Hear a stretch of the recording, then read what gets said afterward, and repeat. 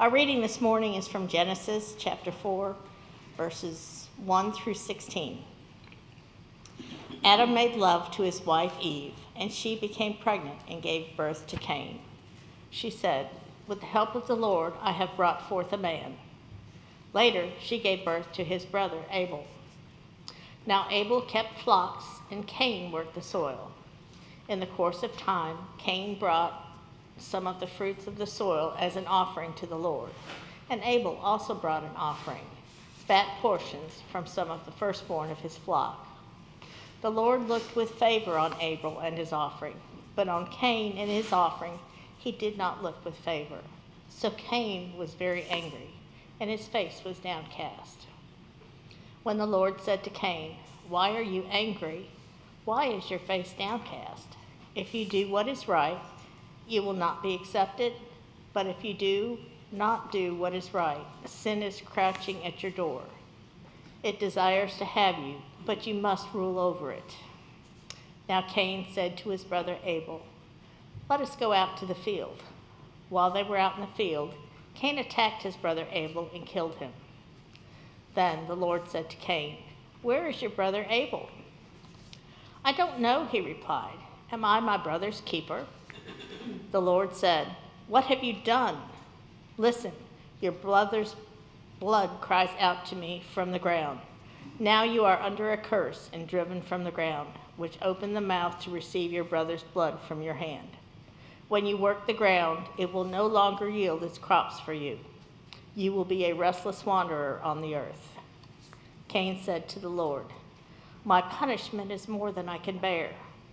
Today you are driving me from the land, and I will be hidden from your presence. I will be a restless wanderer on the earth, and whoever finds me will kill me. But the Lord said to him, Not so. Anyone who kills Cain will suffer vengeance seven times over.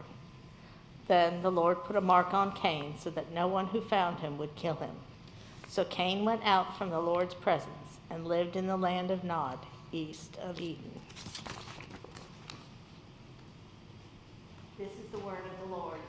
Thanks be to God. Will you join me in prayer? God, we come to you this day full of the events of the world, full of the events of our lives, full of the whisperings of our minds and our hearts. And we offer those to you. We place them at your feet. We place them at the foot of the cross, and we give them to you. And we ask that for today, for this moment, for this time. You open us up to hear your words of grace, to hear the words you have for us this day, that they might fill us up and send us out. May the words of my mouth and the meditations of our hearts be acceptable to you, O Lord our God. Amen. So, um, yesterday my sermon was different. Yesterday, my sermon, I had a whole different sermon. It was going to be all about jealousy and um, the, how it's really the root of the reason that we hate each other. And it was, a, it was, an, it was an okay sermon. It was fine. Um, but I got home, and um, as I was trying to go to bed, I opened up um, my social media app, which is a bad habit. Don't do that. Um, and uh, it was filled with images um, from Israel. It was filled with images from Israel, and it was filled with not great, good images from Israel, some of them that I didn't want to see but I felt like I needed to bear witness to it because the story that is coming from Israel is an ancient story. It's an ancient story. It goes back to the beginning of time. We've talked about how the first six chapters of Genesis are what's called prehistory. It's the root, it's the, the stories that inform us of what the world is going to be like, who this God is, and who the people who live in this world are like. And the first six chapters of the Bible are filled with stories that are not flattering for us humans. We don't come off in a good light. And it's an ancient story, this fight brother against brother. It fills up our news every day. When Russia invaded Ukraine, it was, if nothing else, a fight of brother against brother, of two peoples who are more alike than they are different who share the same history together. Russia is named Russia after the homeland, which was Ukraine. And Israel and Palestine are fighting, if nothing else, as brother against brother. As two ancient peoples who lay claim to a homeland, both who have righteous claims to it. And it's an ancient story of brother against brother. And then I turn on my local news, and it's not much better. It's filled with stories of um, threats on social media. It's full of stories of football games, which should be fun, which are not, which are instead acts of terror. It's an ancient story. It goes back to the beginning of time. And its roots are the same as it always has been Cain and his brother Abel.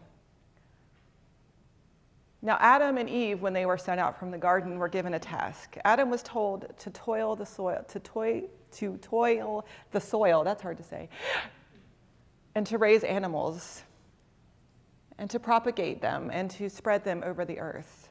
This was Adam's job, and so he passed along to his two sons, Cain and Abel. Cain, who was a gardener, farmed the ground. And farmers know how capricious that can be, how difficult farming can be, how dependent you are on the soil to be good to you. Abel, on the other hand, raised animals, probably sheep. And they were doing okay. They were living their life, they were taking their responsibility, but even from the beginning, when God told to Adam that all people were responsible for toiling the earth and raising the animals, Cain and Abel separated themselves from each other. They both take offerings to God. Cain takes of the first fruit, and Abel offers some of his sheep. Nowhere in the Bible does it say that one is worse than the other. I grew up as a child being taught that Cain's offerings were not as good as Abel's, and that is why God did not favor them. But it turns out when you read the actual words of Scripture, there is no judgment on the quality of their offerings. Abel brings what he has, Cain brings what he has. And yet somehow Cain decided that God liked Abel better. We don't know why, we don't know how. We don't know what message Cain got to make him think that, but I think that Cain just thought that God liked Abel better. Maybe his job was a little bit easier. Maybe Abel made a little bit more money off of his sheep than Cain made off of his fruits and vegetables. But for whatever reason, Cain and Abel began to hate one another. Cain, because he was jealous of what he saw as God's favor to Abel. And so Cain takes Abel out into the field, and out of jealousy and hatred and spite, and out of his own insecurity, kills his brother. It's an ancient story. And it happens all the time. It repeats itself throughout Scripture. These two brothers who hate each other Jacob and Esau, who cannot get along, who fight from even when they're in their womb who have to separate and eventually come back together to bury their father. Or Isaac and Ishmael, who were the products of jealousy and insecurity, who people who didn't believe or trust God to be enough. They separated and went their separate ways, unable to be in the same room together, brother against brother. And they come back together to bury their father. It happens throughout the scripture, it happens all the way through to the New Testament, where we tell children the story of the prodigal son, one, the younger son who goes and leaves his older brother behind, who goes off into the world and adventures and seems to have all the blessings of God until he doesn't. And when he returned home, instead of his older brother celebrating his return, his older brother gets mad and leaves the house brother against brother, both driven by their insecurities and their fear and their hatred and their jealousy of one another, unable to be in the same room together. It's a story that is as ancient as time. Now, I grew up Presbyterian, and I never once heard the phrase total depravity in church. I've never heard the phrase total depravity until other people, um, usually people from other denominations, say, you know, I could be Presbyterian except for that total depravity thing. We don't normally use the word total depravity, and it doesn't mean that you're as bad as you can possibly be. That's not what it means. Total depravity just means that we recognize that the world is broken and that the people in it are beholden to our sin, which is true. How often do we act out of our insecurity and our fear? How often do we make choices out of our hatred, out of our inability to see other people it's just true, and it was not discovered by a Presbyterian. It's been part of Christianity since the third century when Augustine first wrote about the reality of sin. That it's always rearing up, ready to take its grip on your shoulders. It's always whispering in your ears, trying to get you to act out of that part of yourself that maybe you're not so proud of. And it's easy for us to sit in judgment of these brothers against brothers, and it's easy for us to declare a winner on each side, but there, but for the grace of God, go we. We are always too eager to enter into this ancient story of brother against brother, to enter into this ancient story of violence against one another, maybe not physical violence, but often still violence. We're broken a little bit inside. We are tainted by the sin that comes with us. And if the origin stories of the Bible tell us anything, it's that we are no different. That we could both be Cain pretty easily. We could both be Adam and Eve pretty easily. We could all be that older brother standing in the house, not rejoicing because his brother came home, but upset because he might have to share in some of our blessings too.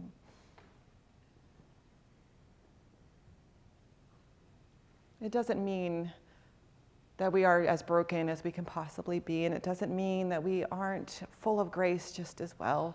It just means that sin is always inside of us whispering to us lies about ourselves. Lies about ourselves, lies about other people. We are not as bad as we think we are, nor are we as good as we think we are. Other people are not as blessed as we think they are, and nor as unblessed as we think they are. All of us have sinned and fallen short of the glory of God. All of us are capable of being in the midst of that brother versus brother cycle. That does not mean that grace doesn't abound. Doesn't mean that grace can't be found. I want to show you a picture. This is a picture of um, the Brandenburg Gate. Brandenburg Gate is in Berlin. Um, it was built in the mid 19th century as um, a testament, a monument to the opulence of the newly formed country of Germany. Um, the Brandenburg Gate, much like the, the Eiffel Tower, you may have seen the Eiffel Tower, sometimes the Big Ben, um, the Empire State Building, we light them up for things, you know, we put things on them. Um, and while I was scrolling through these pictures last night, I ran across this picture of the Brandenburg Gate, which is incredible. This was an actual picture taken last night at the Brandenburg Gate. As soon as they discovered what was happening in Israel, Germany put up the flag of Israel in the middle of Berlin. And maybe you aren't a history buff like me and you don't remember why this is amazing, but I'll show you why, because the next picture is also the Brandenburg Gate. 80 years ago. And if this if this, the symbol of hatred towards Jewish people, can turn into the Israeli flag overnight, 80 years is overnight in history, then God's grace abounds. You can take it off. God's grace abounds. It means that nothing is so far gone it can't be redeemed by God. It means that God is constantly working inside of us to get us to speak not out of that whisper of sin, but instead to speak out of the grace that God pours into our heart. It means that God is empowering us to make a choice that is different than the one our instinct maybe tells us to make. God's grace isn't the ability to be perfect. It doesn't mean that you're good. It doesn't mean that you get material blessings. It's not an offering of wealth. It's none of that thing, none of those things. What God's grace is, is the promise that sin is not the only voice you hear in your ear. That when sin whispers into your ear hatred and violence and fear and insecurity and all of those things, it's also whispering just as loudly the voice of God saying, You're enough. With me, you are enough. There is enough for everybody. There's enough for us to share. There's enough for us to extend love to people who may not respond in the way that we would like. You are enough to face your fear, whatever it is that you're carrying around that you're afraid of. You are enough to share what is in your heart. You are enough to step into the gate, to step into the darkness, and to say, The darkness will not overcome me because I carry with me the light of God. Grace just means that God's voice speaks in our ear too, that our God's voice can overwhelm the impulses inside of us, which drive us into the brother versus brother cycle. Which remind us that our insecurity maybe is telling us the truth. God speaks into that and offers you the grace to take a step back.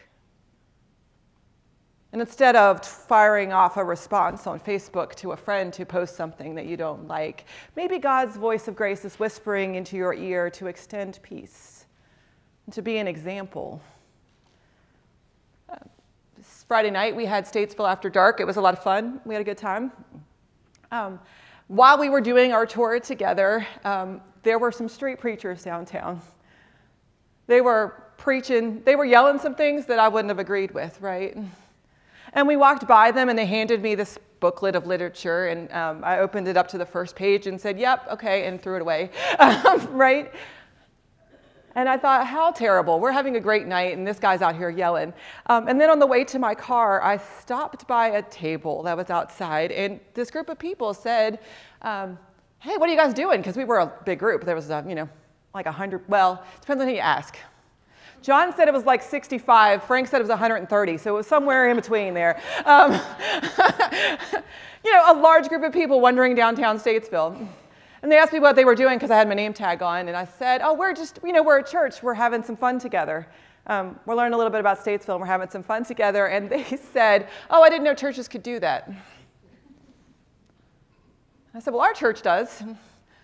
And they said, oh, where'd you go to church? Uh, where, where do you go to church? And I said, where do you go to church? And I said, oh, well, I'm the preacher at Concord. And like um, for a minute, they went, oh, how do I find out more about that? Well, I said, you can like us on Facebook. Go to concordpreschurch.com. We're right there. You can look us up. They said, oh, yeah, we'll do that. We want to see what else you got. I said, normally we do a trivia night in the spring. And they said, yeah, we'll come to that, which just reminds us that grace is always in action, even when people are shouting words of hate on the street. We can be that voice of grace, and it may feel like a drop in the bucket, and that family may never do anything, but that's fine. They've at least heard that it's possible to have a faith not surrounded by hate. That we can be in that place, and maybe it doesn't feel like we're making a big difference, but we are. You are changing the life of somebody, one person, and that life is changed because they've heard the words of grace that reminds them that they're more than the fear and they're more than whatever the worst thing somebody said about them. And if nothing else, God is calling us to help turn the Brandenburg Gate into an Israeli flag. And no, you can't do that by yourself. But we're a group of somewhere between 20 and 300, depending on who you ask, and we can change the world one drop at a time, one light at a time. We can say there's an option other than brother versus brother, where we fight with one another. There's a different option where God offers brother with brother. And that is the grace of God. You can do it. We can do it. We don't have to let sin win, and we don't have to let hatred win, and we don't have to let violence win. And so I challenge you to go out this week and offer grace to people. Be liberal with it, there's plenty of it to go around. And that is the word of the Lord. Amen.